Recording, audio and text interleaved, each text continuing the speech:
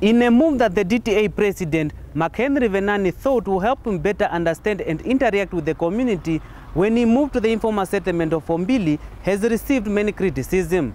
Here is Venaani's reaction to this issue. To sleep in a shack for me is not an experience.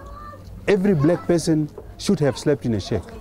But to use a plastic bag in an urban area as a toilet, that is an experience. I've accessed over 375 people in three days.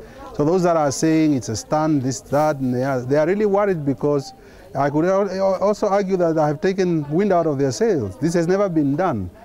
Venaani traded the luxuries of his upper market Auckland Park home to reside in this humble, one-roomed shack last week. We asked Venaani as to what he will change or improve on should he be elected as the president of the country.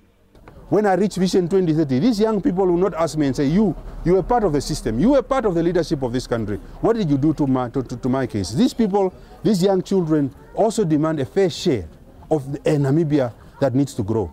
I'm not only going to talk to, business, to, to, to poor people or poor communities, I'm also talking to business communities to create a balance between the rich and the poor so that we narrow the gap. And we can only narrow the gap of communities when we access them, when we understand what they go through. According to Venani, he has received invitations from various families to come visit them and possibly spend a night or two. During the course of this month, the youthful president has plans to visit communities in the Zambezi region as well as miners in Oranjemund as he continues his mission to connect with people at grassroots level.